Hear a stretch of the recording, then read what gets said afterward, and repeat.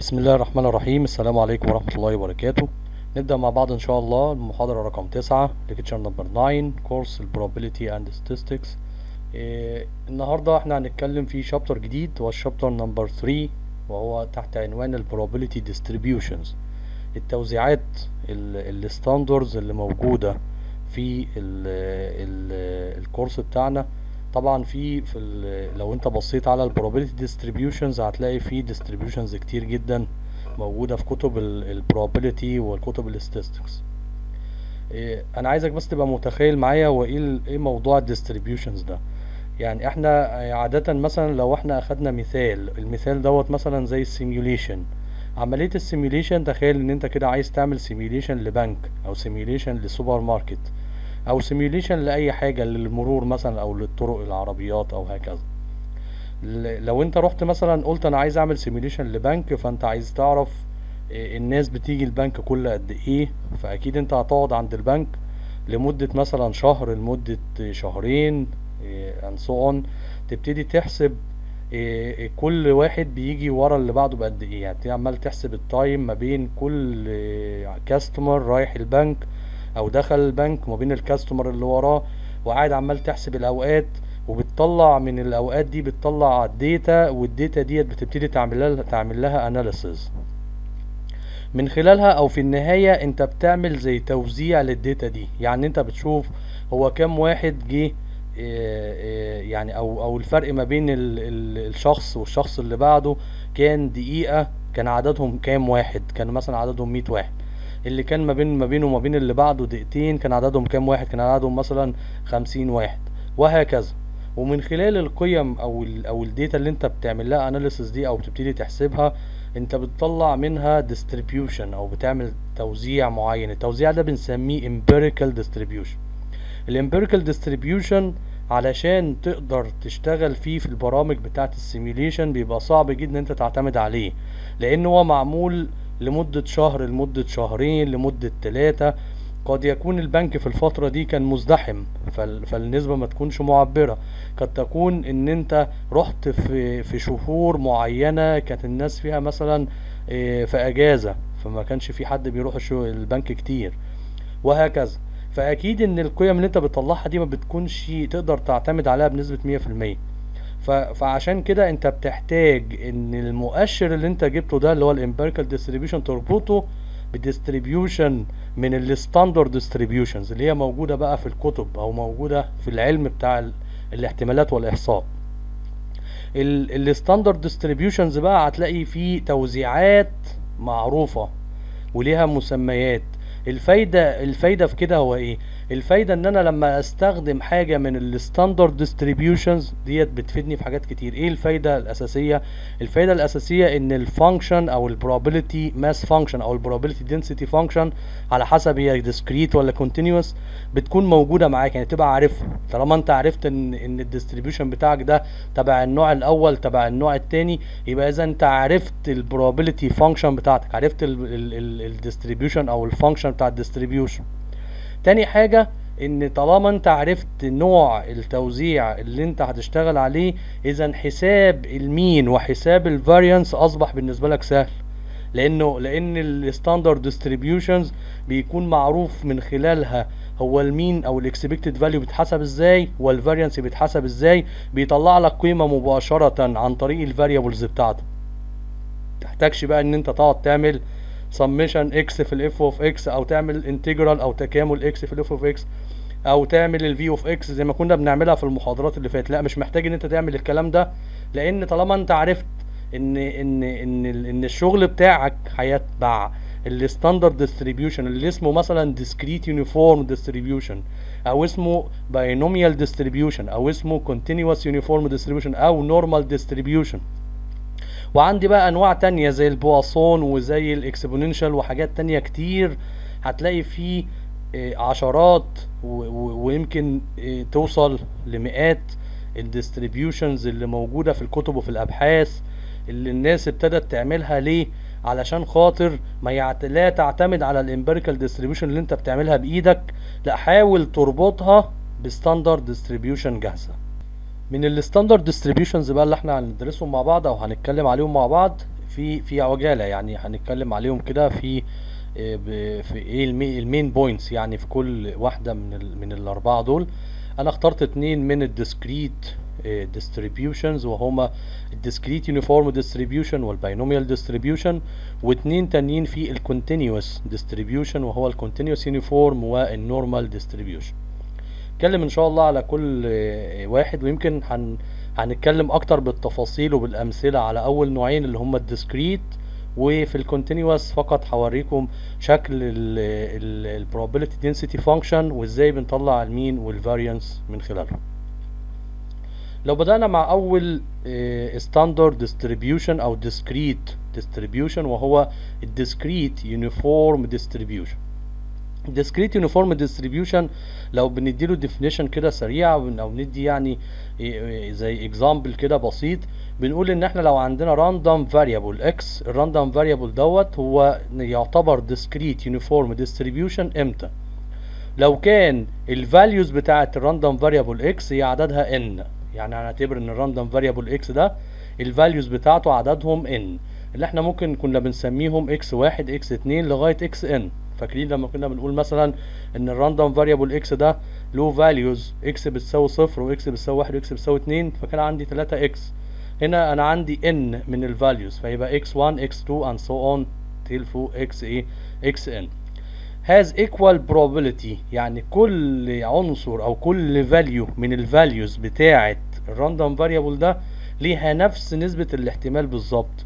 يعني مثلا لما كنا بنعمل المثال بتاع ال coin لما كنا بنرمي ال coin مرتين ونشوف عدد ال heads اللي بتظهر فكان بيطلع عندي مثلا إن احتمال الصفر بربع واحتمال الاتنين بربع واحتمال الواحد بنص. هنا ال probabilities بتاعة ال values ما كانتش متساوية. إنما لما بنقول ال discrete uniform distribution كل ال probabilities بتاعة ال values لل random variable بتكون كلها متساوية. ومعنى اللي هي كلها تبقى متساوية زي ما كنا بنقول في المحاضرات اللي في الأول equally likely. ده معناه إن الاحتمال بتاع كل عنصر هيساوي 1 over n. فاكرين لما كنا بنقول equally likely معناه إن كل عنصر من ال outcomes في ال sample space له نفس قيمة الاحتمال وهو عبارة عن واحد على عددهم. هنا نفس الكلام بالظبط يبقى 1 over n. فلو اعتبرنا مثلا إن ال n ديت equal 100 يبقى اذا الاحتمال بتاع كل قيمة x هي عبارة عن 1 over 100 طيب كلام جميل. الكلام ده مثلا لو طبقناه على example بسيط كده وقلنا إن إحنا عندنا serial number ال serial number دوت عبارة عن أرقام.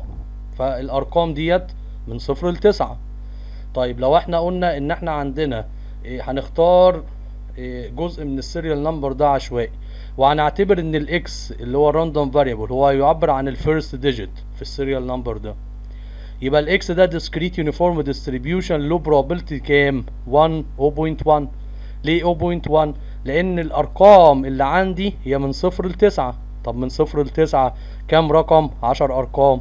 طيب يعني معنى كده إن ال n equal 10 يبقى ال probability بتاعت أي قيمة عندك هتبقى واحد over n اللي هي 1 over 10 اللي هي هتبقى كام؟ 0.1 يبقى دوت كمثال. ولو شفنا الشكل بتاع ال probability mass function هتلاقيها عاملة إزاي؟ هتلاقيها بالمنظر اللي قدامنا ده. على محور ال x هنحط ال values اللي هي ال x i اللي هي الاكس 1 إكس 2 إكس 3 لغاية x 10 أو لغاية x 9 هنا. أو بدأنا اللي هما آه، من أول x واحد هنوصل لغاية x 10 يبقى x 2 وهكذا لغاية ما توصل ل x 10 يبقى بدأنا من x واحد لغاية x n وال n هنا عندنا اللي هي بتساوي 10 10 قيم لل x ليهم نفس الاحتمال. يبقى على محور ال y ده ال probability يبقى ال f of x دي بتعبر عن الايه ال probability الاحتمال. فكام؟ 0.1 اللي هي كام؟ اللي هي 1 over 10 اللي هي واحد على عددهم. فهتلاقي إن عند كل نقطة أو عند كل value ليها نفس نسبة الايه الاحتمال. فبتلاقي إن النقاط كلها على نفس المستوى. وده عشان كده سموه uniform distribution يبقى دوت كله ماشي له نفس نسبة الاحتمال. كل ال values اللي موجودة ليها نفس نسبة الاحتمال اللي هي بتساوي واحد على ال n طب لو إحنا اعتبرنا ان إحنا هنشتغل على range معين هتلاقيها بتتكتب في الكتب كده D U a و g of a و g الاي والجي دولت هم دولت ال parameters وال ال D U اللي هي مقصود بيها إيه؟ ال discrete uniform يبقى ال discrete uniform a و g ده معناه ال discrete uniform اللي بيبدأ من عند ال a يبقى ال a ديت هي ال start وال g ديت هي ال end البداية والنهاية بتاعتي. لو بصينا على ال graph اللي قدامنا ده هنلاقيه بادئ هنا من عند ال a وبعدين بيمشي. النقطة اللي وراها a plus 1 a plus 2 and so on لغاية ما يوصل عند الجي اللي هي تعتبر أقل اللي هي تعتبر أكبر قيمة عندك. يبقى من أقل قيمة عندك اللي هي ال a وبيزود واحد بواحد بواحد بواحد لغاية ما يوصل عند الجي طب في الحالة دي ال probability هيكون بيساوي كام؟ إحنا لما بدأنا من عند الصفر أو من عند الواحد لغاية ال n كنا عندنا ال probability بيساوي واحد على n في زي المثال اللي فات. طب لو بدأنا هنا من عند ال a وانتهينا عند الجي يبقى ال probability هيساوي كام؟ قال لي ال probability هيساوي 1 over g minus a plus 1 يعني واحد على جي ناقص اي زائد واحد.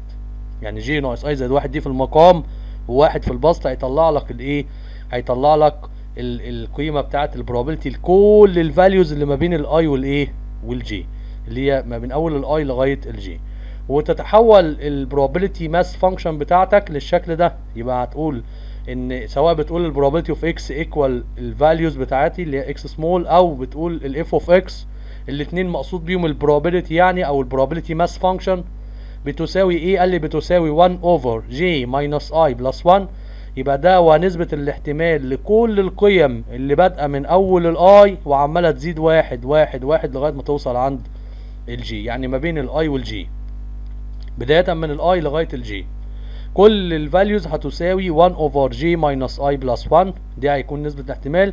أي حاجة تانية هتساوي كام؟ هتساوي صفر. الاحتمال بتاعها هيساوي صفر.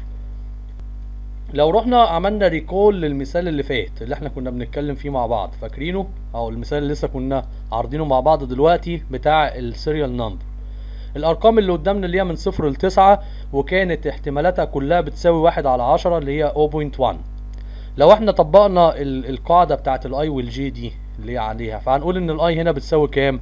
الاي هنا بتساوي الصفر والجي هنا بتساوي التسعة أو ال nine. يبقى في الحالة دي لو أنت رحت هنا وعوضت مكان ال g بال nine وعوضت مكان ال a بال zero هتبقى 9 minus 0 plus 1 هيديك 1 over 10 اللي إحنا كنا لسه بنتكلم عليه. يبقى 1 over 9 minus 0 plus 1 والأرقام بتاعتك بادئة من عند الصفر وبتزيد واحد بواحد بواحد لغاية ما توصل عند التسعة يبقى في الحالة ديت هتقول إن ال probability mass function بتاعتي بتساوي 1 over 10 في في القيم من صفر لغاية 9 والقيمة بتاعتها بتساوي 1 over 10 وده معناه إن اللي إحنا قلناه المرة اللي فاتت كان صح برضه ولكن هنا إحنا طبقناه على القاعدة العامة اللي هي فيها بقى الرموز زي الاي والجي تقدر إن أنت. يعني تقدر إن أنت تستخدمها بقى على أي قيم تانية غير الصفر والتسعة. على حسب البداية والنهاية بتاعتك تقدر تحدد ال probability mass function هتكون شكلها عامل إزاي. طب ال mean وال variance بقى في حالة ال uniform distribution بيتحسب إزاي؟ طبعا هنا أنت مش محتاج بقى أنت مش محتاج إن أنت تقعد تحسب ال mean وتحسب ال variance لا طالما أنت خلاص عرفت أو قررت إن أنت ال data بتاعتك دي هي على شكل ال uniform distribution ده معناه إن أنت ال mean وال variance طريقة حسابتهم خلاص هتجيبها من القاعدة بتاعتك على طول. اللي هي بتقول إيه بقى؟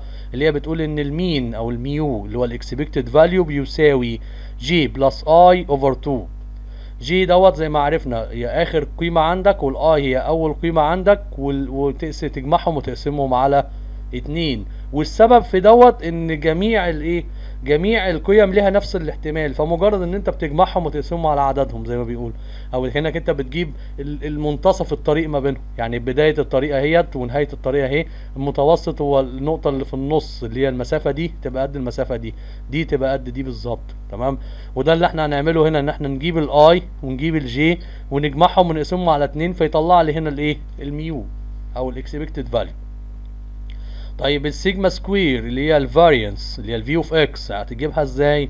هتبقى g minus a plus 1 all square minus 1 over 12 كده يبقى أنت بمجرد ما تعرف الاي بكام والجي بكام بقى معاك ال mean وبقى معاك ال variance وتقدر تجيب ال standard deviation من ال variance اللي هو السيجما وبقى معاك ال probability mass function إذا كل حاجة بقت موجودة معاك ودي فايدة ال standard distribution لو أخدنا مثال كمان أو على نفس يعني المثال اللي فات نحسب له ال mean ونحسب له ال variance فلو رحنا للمثال دوت وقلنا إحنا عايزين نحسب ال expected value فال expected value هيساوي إيه؟ g plus a over 2 وإحنا عرفنا إن ال g equal 9 وال a equal 0 يبقى 9 plus 0 over 2 يبقى يبقى 4.5 وده اللي إحنا إيه, إيه نقدر نجيبه بسهولة دلوقتي. كمان لو حبينا نحسب ال variance هنجيبه إزاي؟ بنفس القاعدة بتاعة ال variance هنعوض عن الجي ونعوض عن الاي هنطلع إن ال variance equal 8.25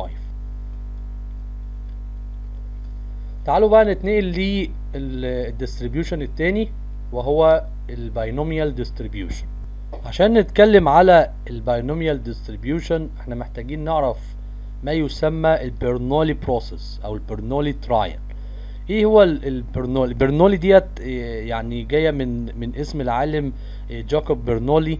ودوت عندك بقى عيلة برنولي ديت يعني فيها إيه؟ يعني علماء كتير قوي. هتلاقيه هو واخوه وولاده وولاد عمه وخاله كلهم يعني مع اختلاف الاسم الأول بقى كلهم برنولي. وهتلاقيهم عاملين حاجات كتير قوي في ال mathematics وفي ال probability وفي ال statistics وطلعين قواعد كتير قوي. فمن ضمن الحاجات اللي موجودة اللي هي ال Bernoulli process ال Bernoulli process مقصود بيها إيه؟ مقصود بيها إن أنت عندك ال experiment consist of repeated trials.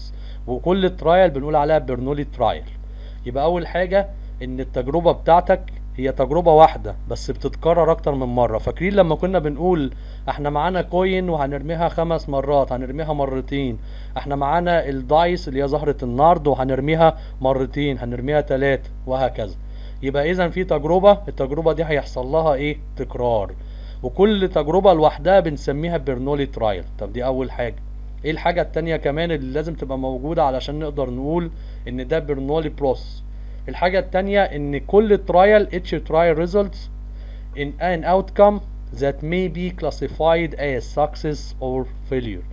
يبقى أنت في كل لما بتعمل التجربة مرة أنت بتقول أو ليك هدف معين في التجربة دي. الهدف دوت ظهوره أو حدوثه ده بنسميه success النجاح. عدم حدوثه بقى لأي اختيار تاني يظهر عندك ده بنسميه ال failure يعني مثلا على سبيل المثال لو قلنا إن إحنا هنرمي ال coin بتاعتنا وال وال head اللي هيظهر يعني إن يظهر فيها head ده بالنسبة لي ال success أو النجاح.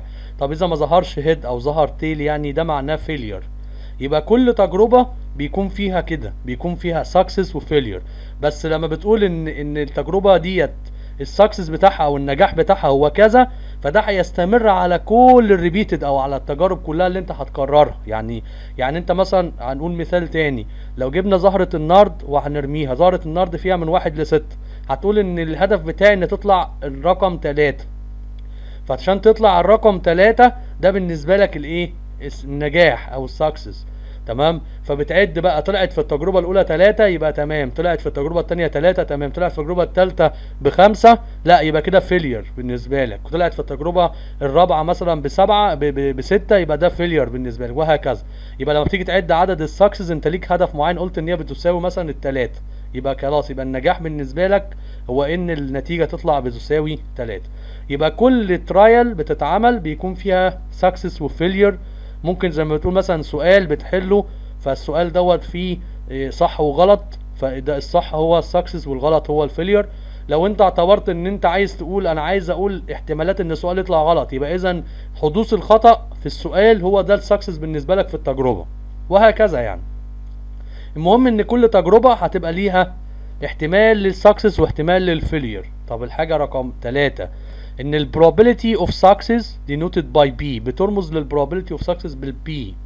تمام؟ يبقى ال P بالنسبة لي هي احتمال حدوث الحاجة اللي أنا بسعى لها اللي هي بالنسبة لي النجاح يعني التجربة.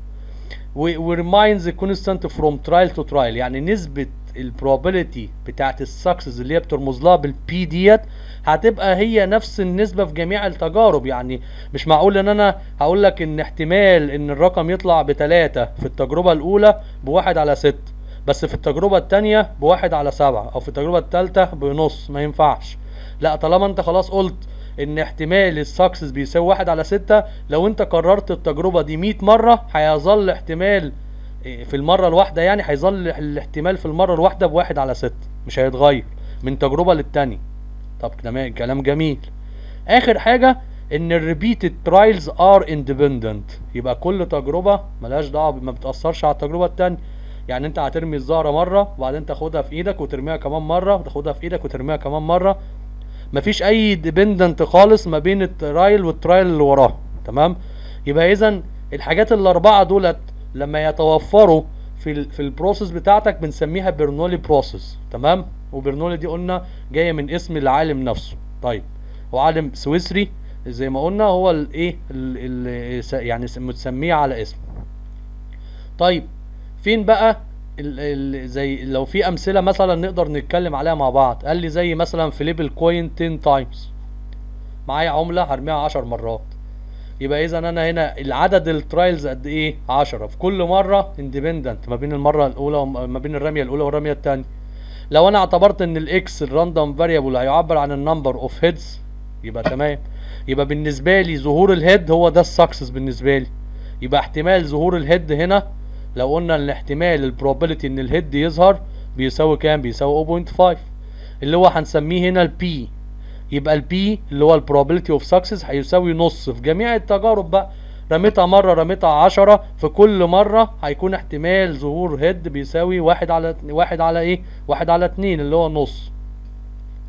طب ماشي. مثال تاني زي multiple choice.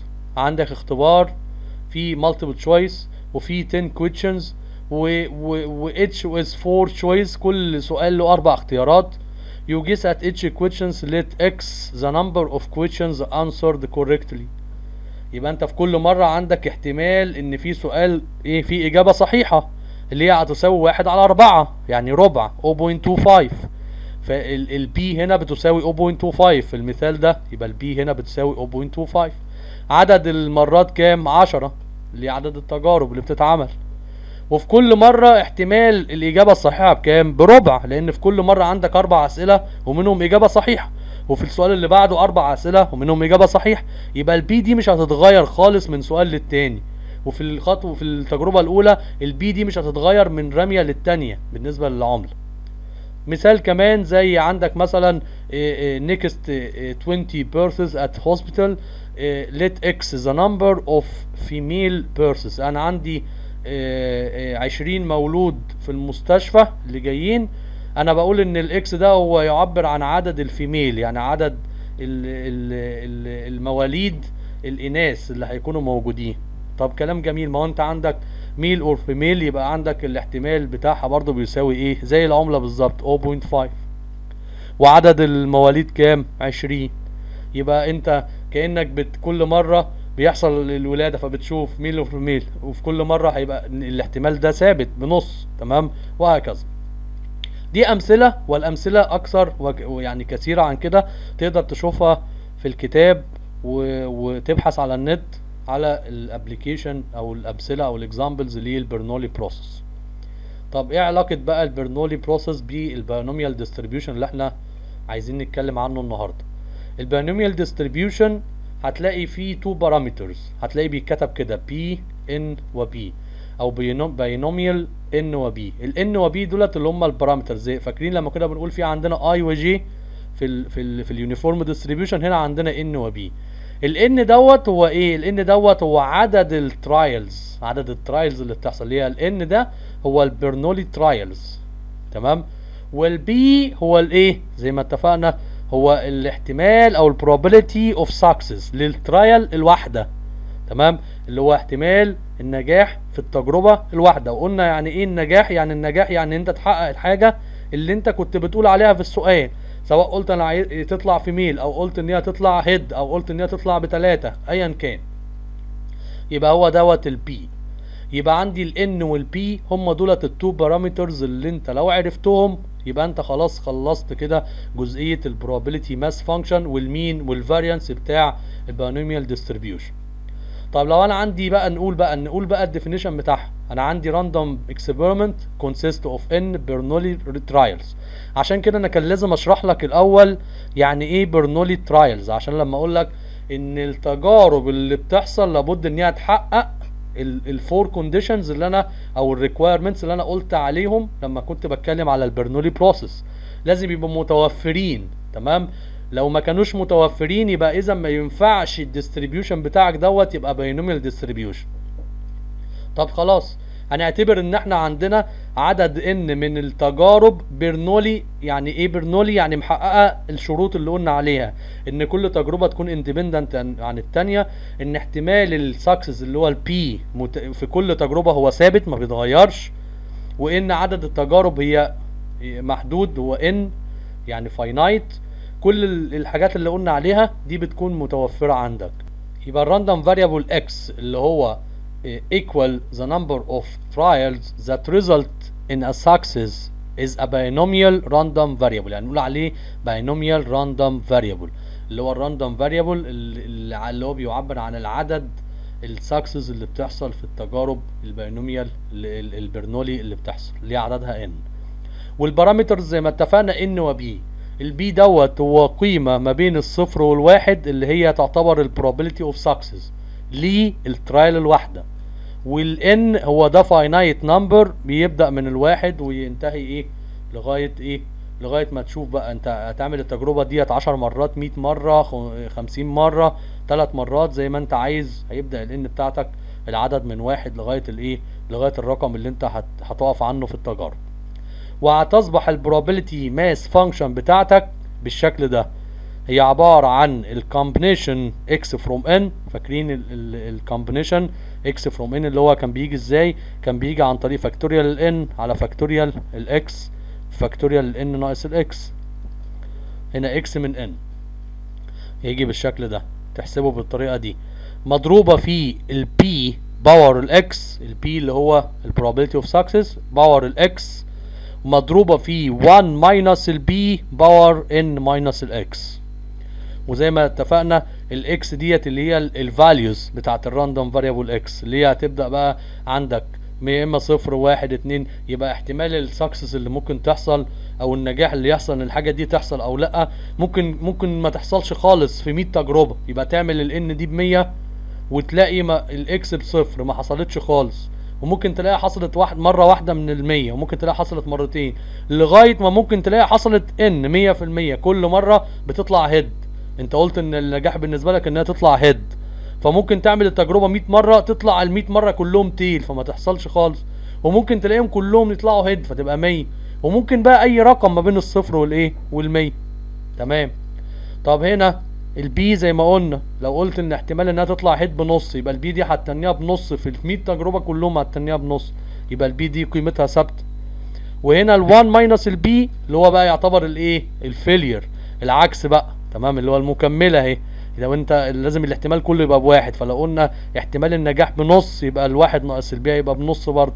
لو قلنا ان احتمال ان ال p أو احتمال النجاح بيساوي 0.2 يبقى دي هتساوي 0.8 اللي هو واحد ناقص ال 0.2 واحيانا في بعض الكتب بيكتبوا ال1 minus ال p بيكتبوها كده بيكتبوها q تمام؟ بدل ما يكتب 1 minus p يكتب بدلها إيه؟ q ولكن إيه؟ هي 1 minus p عشان انت ما تلخبطش. يعني هو هو متغير واحد. ال p والمتغير التاني اللي هو ال n ال n ده هو عدد التجارب اللي بتحصل وال p ده هو احتمال النجاح في التجربة الواحدة. بس كده.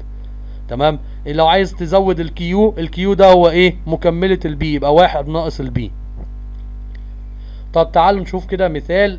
لو قلنا مثلا إن إحنا هنعمل flip لل coin 10 times يبقى على طول أنا كده إيه إيه هقدر أحدد إن ال n بتساوي إيه؟ بتساوي 10 ده أول parameter بحتاجه معايا.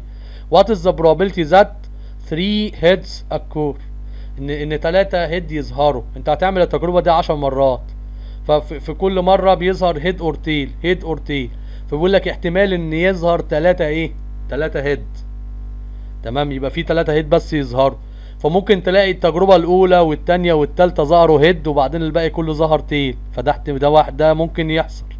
وممكن تلاقي إن أول سبعة كلهم طلعوا tail وبعدين آخر ثلاثة هم اللي head وهكذا يعني. إحنا طبعا عايزين نعرف ما هو احتمال إن يطلع عندك ثلاثة head. فعلشان نقدر نحل السؤال ده لازم يكون عندنا الأول ال function اللي هي ال binomial distribution function أو probability mass function ونقدر من خلالها نقول بقى إحنا عايزين نحط العدد بتلاتة عايزين نحطه باتنين لأن إحنا زي ما اتفقنا إن ال x بتاعتك هتبقى من صفر واحد اتنين لغاية ما توصل عند العشرة اللي هو ال n فممكن ما تظهرش head خالص. وممكن تظهر head واحدة من العشر مرات وممكن تظهر اتنين وممكن تظهر تلاتة هو بيسألك عند التلاتة بس ممكن يرجع يسألك عند الاتنين أو الواحد أو الصفر أو التسعة أو العشرة. يبقى لازم يبقى عندي function اللي هي ال f of x وأقدر من خلالها أعوض بقى عن ال x بالقيمة اللي أنا عايزها. أعوض عنها بتلاتة باتنين بواحد زي ما أنا عايز. فعلشان نقدر نكتب ال function صح نكتب المعطيات بتاعتنا اللي إحنا هنطلعها من السؤال ده. اولا ديت كده عملية ال flipping لل coin تحقق ال Bernoulli trial ولا لأ؟ آه هي ال Bernoulli trial هنا بالنسبة لي هي flip ال coin رمية العملة ومن رمية للتانية independent وهترميها عدد محدود اللي هي عشر مرات.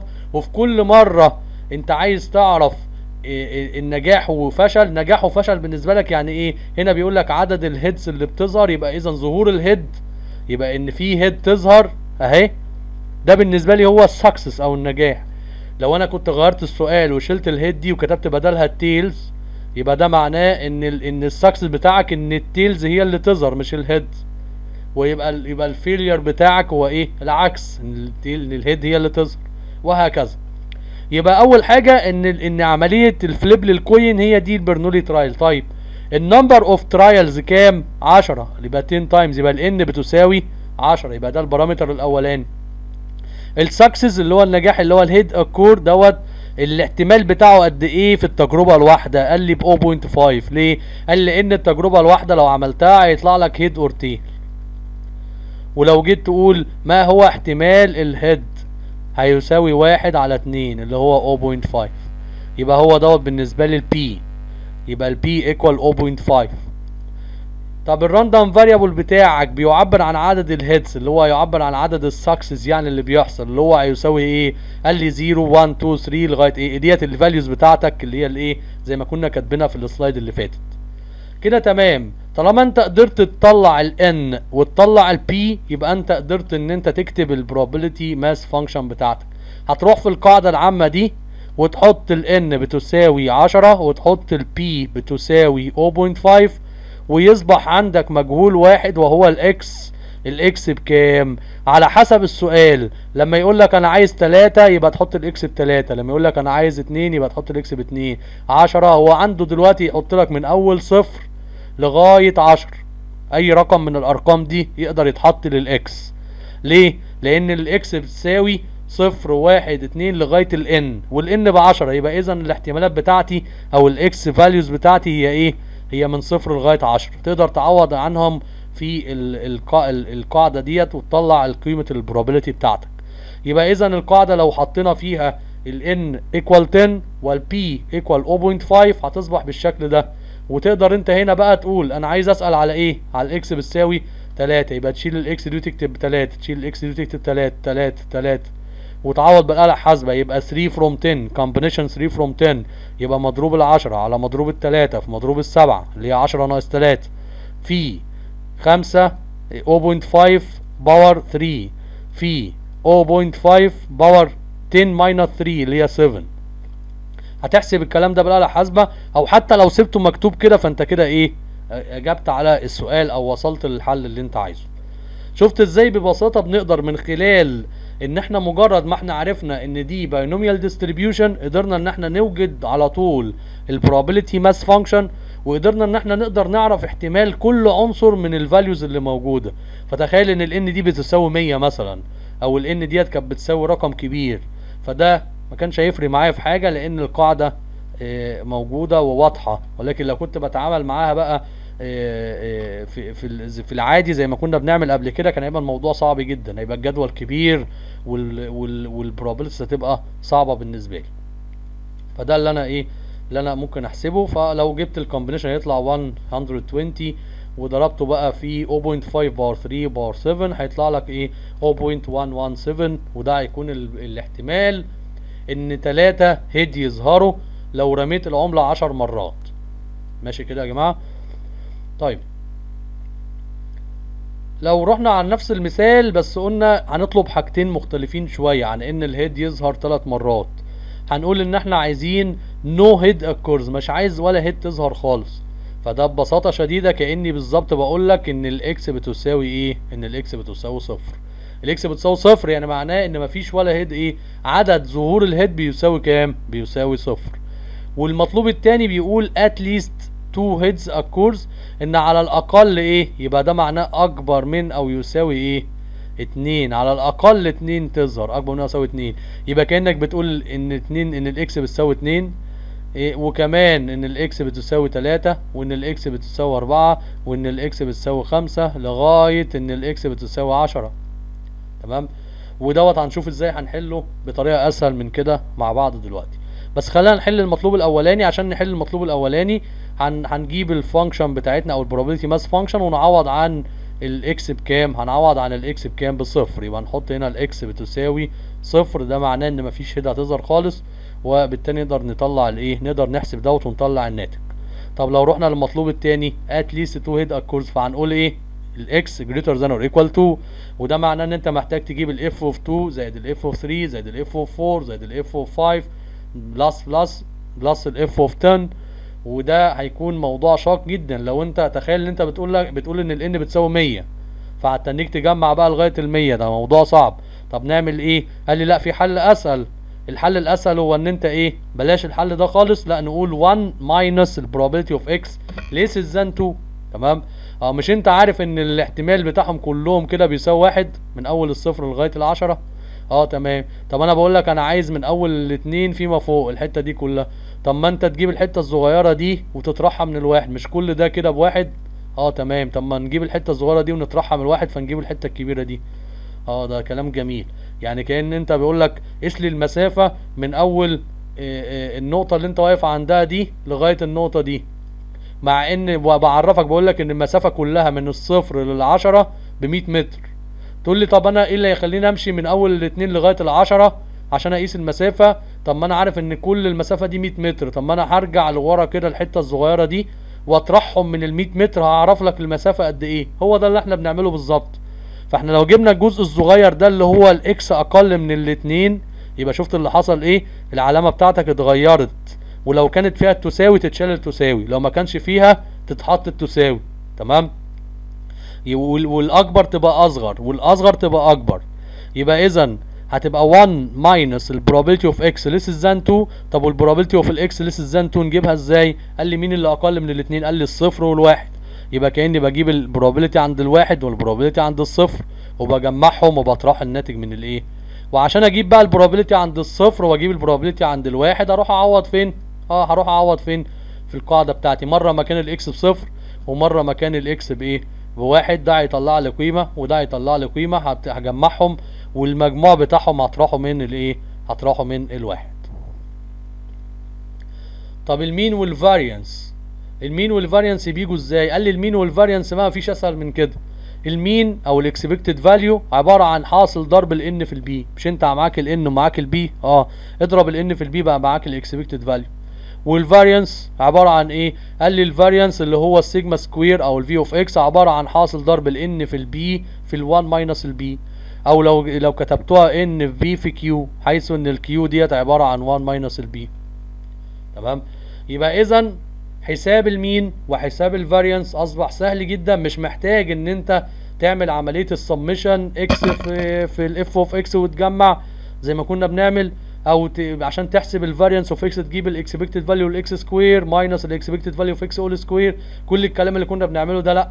طالما انت عرفت ان هي على شكل ال standard binomial distribution يبقى اذا ال mean بيساوي ال n في ال p وال... وال variance بيساوي ال n في ال p في ال1 minus ال p لو رحنا على المثال اللي فات وقلنا تعالوا نحسب ال expected value ونحسب ال variance إحنا كنا عارفين إن ال n بتساوي 10 وكنا عارفين إن ال p equal 0.5 لو جينا نحسب ال expected value أو ال mu أو ال expected value هنقول إن هو عبارة عن حاصل ضرب ال n في ال p يعني هيساوي 10 times 0.5 ولو جينا نحسب ال variance اللي هو ال V of x أو اللي هو ال sigma square هيساوي ال n في ال p في ال q أو في ال1 minus ال p اللي هو هيساوي 10 times ال 0.5 times ال 0.5 اللي هي 1 ناقص ال 0.5 يبقى إذا حساب الأول كان كنت لازم تطلع ال n وال p إحنا كنا أصلا مطلعينهم في المثال اللي فات ومن خلالهم تقدر تحسب الإيه؟ ال mu بالقاعدة بتاعتها وال variance بالقاعدة بتاعتها. اللي إحنا قلنا عليهم هيبقى 10 times 0.5 يبقى equal 5 و 10 times 0.5 times 0.5 هيبقى 2.5 مثال كمان على ال binomial distribution. لو قلنا إن probability that a patient recover from a rare blood disease is 0.4 أنا عندي آه احتمال إن المريض يعافى أو يشفى من من مرض نادر في الدم هو 0.4 يبقى الموضوع أو أو ال trial عندنا أو ال Bernoulli trial عندنا إن في عندنا patient أو في عندنا مريض. والنجاح بالنسبة لنا أو أو ال success بالنسبة لنا إن إن المريض دوت يشفى من من مرض الدم النادر اللي عنده ده. طيب احتمال إن يشفى أو احتمال النجاح قد إيه؟ قال لي 0.4 يبقى اذا أول معلومة طلعتها عندك إن ال p equal 0.4 if 15 people are known to have contracted this disease. لو أنت عندك 15 واحد مصابين بالمرض ده يبقى أدي ال n. what is the probability that exactly 5 survive and at least 3 survive? انت عايز يقول لك بقى إيه؟ احتمال ان عندك خمسة ينجو أو يشفوا من المرض دوت أو أو على الأقل ثلاثة من ال 15 ينجو أو أو يتم شفائهم من المرض ده. يبقى لو طلعنا المعطيات هنلاقي المعطيات بتاعتنا بسيطة جدا وواضحة إن ال patient هو ده ال trial بتاعنا. وإن عدد ال trials اللي هي 15 هم عدد ال people أو الناس ال patient المرضى بالمرض اللي هم 15 وإن ال success بالنسبة لنا إن ال patient يبقى إيه؟ recovered أو أو يشفى من المرض. يبقى الاحتمال بتاعه بكام أو ال success بكام؟ ب 0.4 زي ما هو قايل لي في السؤال. وال x هو عدد ال people اللي هيحصل لهم إيه؟ recover اللي هيشفوا أو هينجوا. اللي هم بيساووا كام؟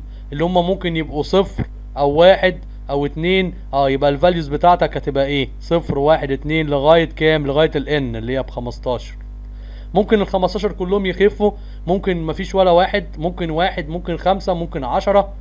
تمام؟ يبقى هي ديت ال possible values اللي موجودة عندي. طب لو كتبنا بقى ال function بتاعتنا تبقى عاملة إزاي؟ قال لي ال function أهي.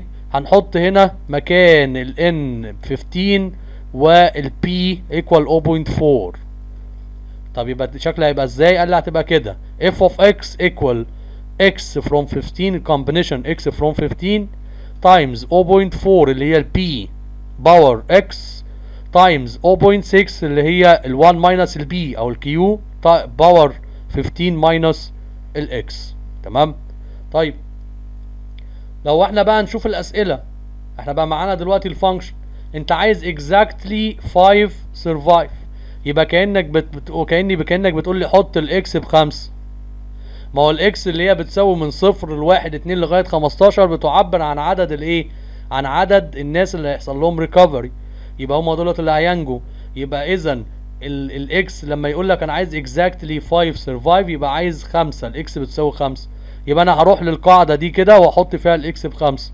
فهتبقى كده ال probability of 5 اللي هي ال F of 5 equal ال combination 5 from 15 times 0.4 power 5 اللي هي power x times 0.6 اللي هي 1 minus 0.4 times power 15 minus 5 اللي هي 10 power 10 يعني.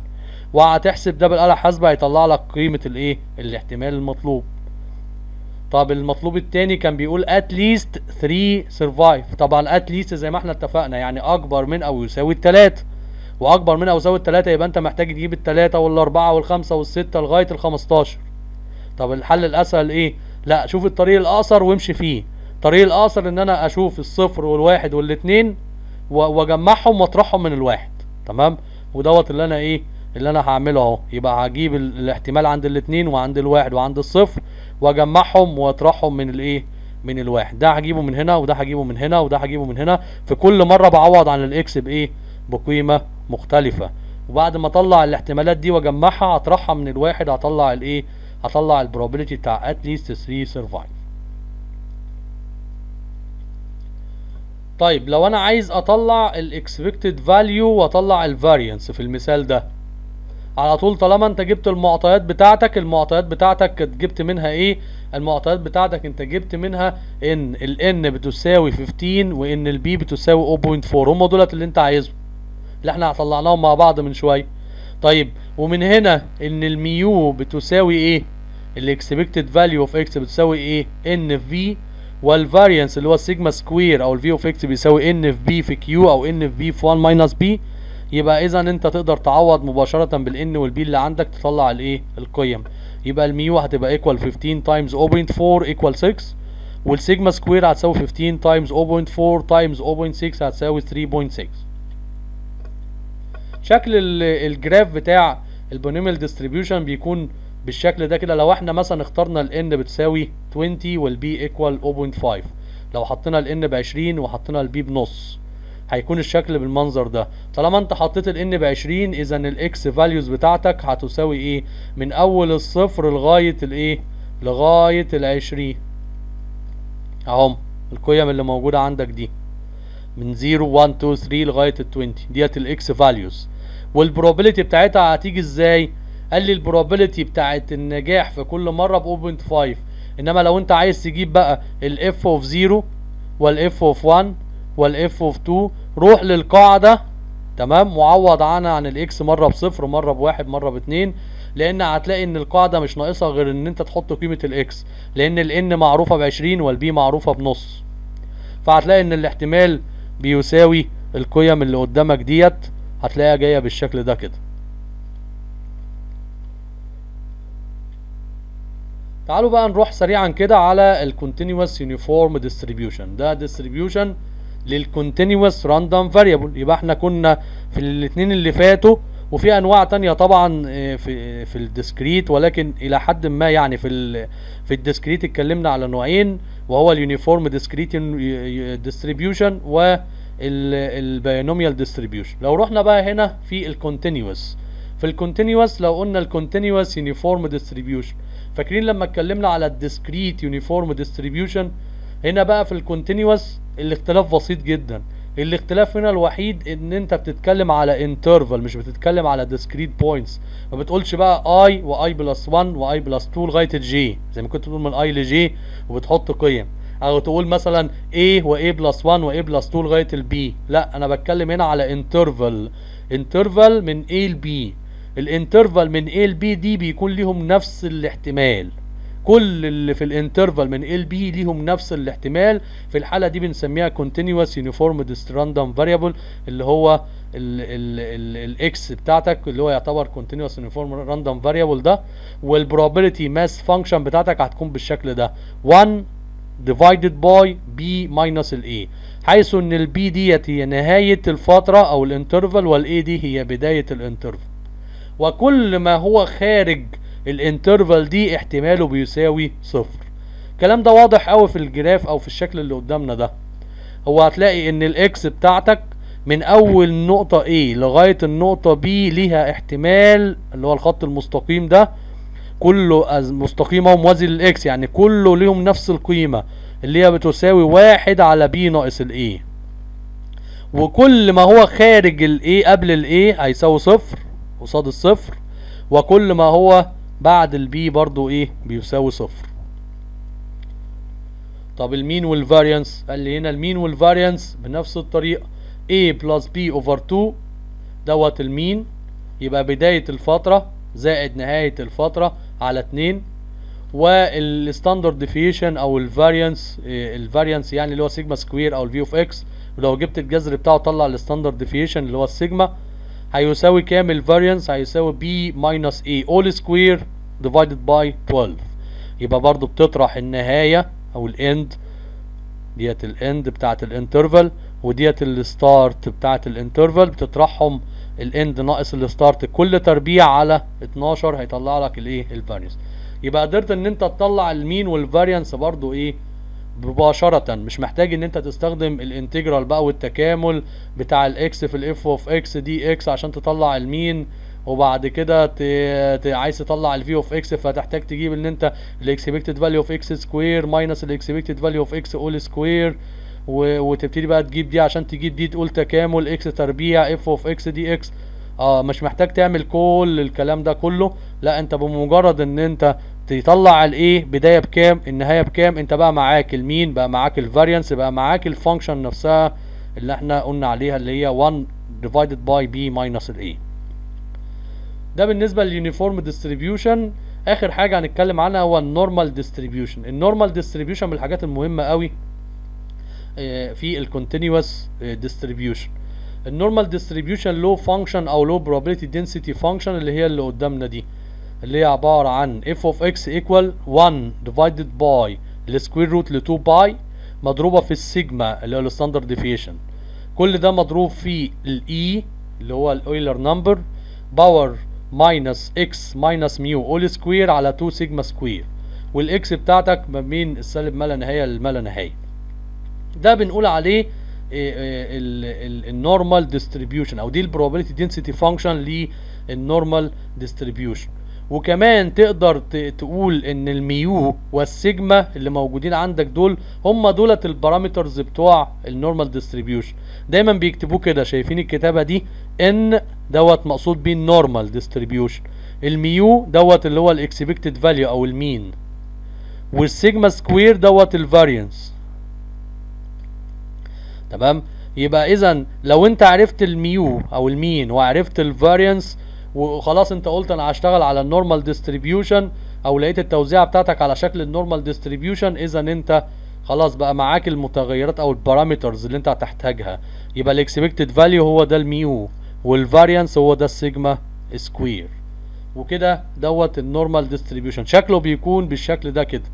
بتلاقي الحاجة ال normal عارف يعني إيه normal يعني بتلاقيها إيه، إيه، بادئة ووصلت للقمة وبعدين ابتدت تنزل. بتلاقي فيه symmetry هنا فيه تماثل. يعني تلاقي ده زي ده.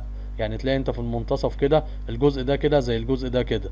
في هنا جزء إيه، قليل وهنا في جزء قليل. في هنا جزء متوسط وهنا جزء متوسط. في هنا جزء في القمة موجود في المنتصف. ده اللي إحنا بنسميه ال normal distribution زي الشكل اللي قدامنا ده. ال mu هنا بيساوي خمسة. تمام؟ وال standard deviation أو ال variance بيساوي واحد اللي هو sigma square بيساوي واحد. فهتلاقي إن ال- الشكل بتاعك جاي بالشكل ده كده أهو.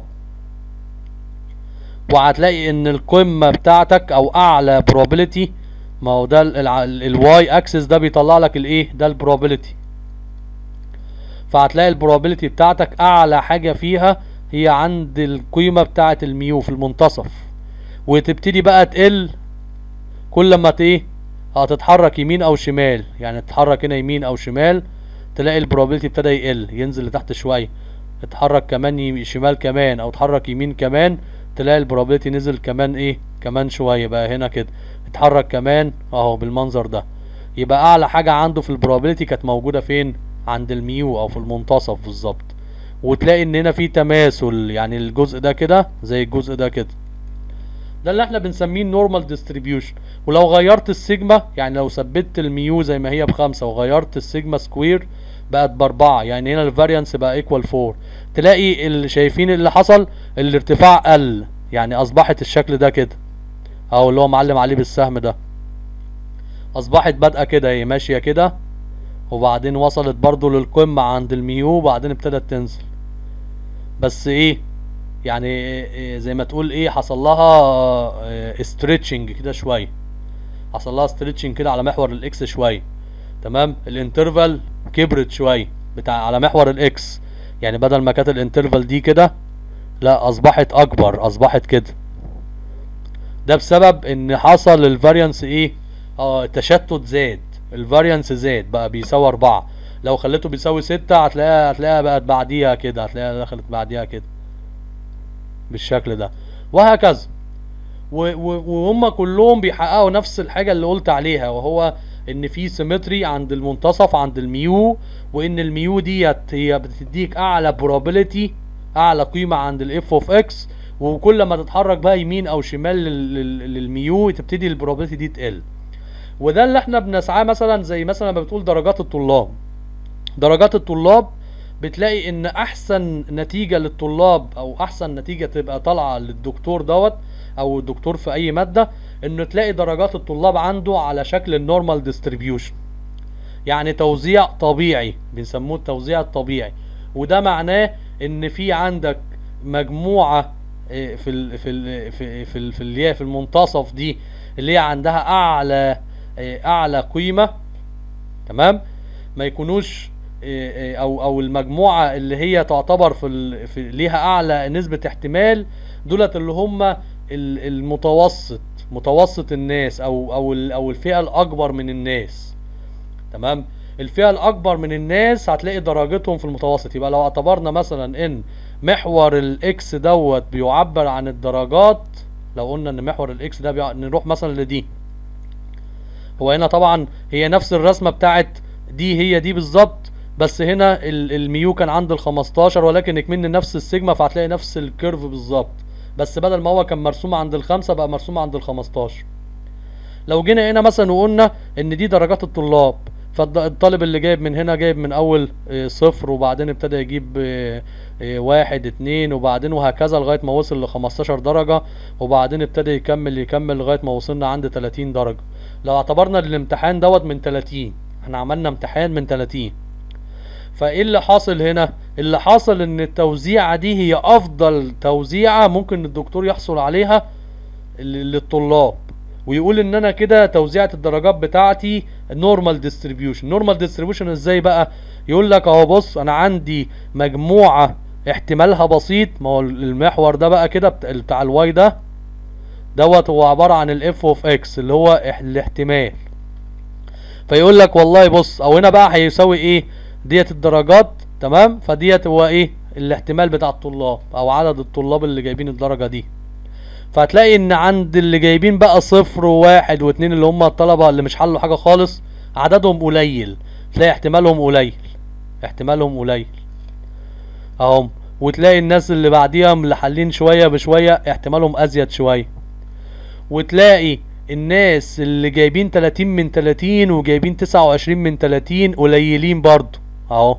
على زي زي الناس اللي كانوا جايبين صفر وواحد كانوا خمس طلاب مثلا واللي جايبين برضو 29 و30 خمس طلاب. يبقى هنا يقول لك إيه؟ شايف الدرجة الع- الواطية قوي قليلة قوي كان عددهم قليل. والدرجة ال- العالية قوي اللي هم المتفوقين بقى الناس اللي هتجيب الدرجة النهائية و30 و29 اللي جايبين امتياز جايبين اي بلس كانوا برضو قليلين قوي. أهو مش شوية دول. وبقيه ال ال الناس ال الأكتر أو الأغلبية موجودة فين؟ آه في الدرجات بقى اللي في النص. آه اللي هم جايبين بقى من من أول بقى 15 وجايبين 20 وجايبين جايبين 25 تمام؟ فتلاقي إن إيه؟ آه هي ديت التوزيعة الإيه؟ اللي إحنا بنقول عليها ال normal distribution. تمام؟ بتكون بالشكل ده. فلما يجي الدكتور يعمل الدرجات بتاعته ويلاقيها كده يلاقي ما, ينفعش بقى يجي يعمل الدرجات يلاقيها جاية كده. يعني شايفين ال curve مثلا ده بادئ من الصفر لغاية ال 30 فيجي يعمل ال- التوزيعة يلاقيها عاملة كده. إيه ده بقى؟ ده معناه إن هنا لو قلنا ده ال 15 إن الدر- ال- الدرجة العدد الكبير قوي أو الاحتمال الكبير قوي الناس اللي جايبة من صفر لخمسة مثلا. آه شايف الكيرف جاي عالي قوي كده تمام؟ آه ما ينفعش. تمام؟ يبقى كده في مشكلة هنا. يا إما الامتحان بقى كان صعب قوي يا إما الناس ما كانتش فاهمة كده يعني. يبقى في هنا في هنا مشكلة. ولو لو جيت درجات كده أدي من الصفر مثلا لغاية ال 30 وأدي ال 15 لقى ال- الكيرف جاي كده. فلقى الناس كلها الدرجات كلها جاية 29 و 28 و30 يبقى في هنا مشكلة برضو يا إما الامتحان اتسرب يا إما الامتحان كان سهل قوي يا إما في حاجة غلط يا إما الدكتور اداهم الامتحان بعلوم الامتحان. ما هو أي حاجة بقى تمام؟ المهم إن أنت بتلاقي فيه مشكلة برضو يبقى إذا الطبيعي اللي هو نسميه ال normal إن تطلع التوزيع بالشكل ده تمام؟ إن في شوية صغيرين هم اللي جايبين الدرجة النهائية وفي شوية صغيرين اللي جايبين صفر وشايلين المادة والعدد الأكبر في المنتصف في الجيد والجيد جدا وكده في المنتصف تمام؟ وده هو اللي إحنا بنقول عليه ال normal distribution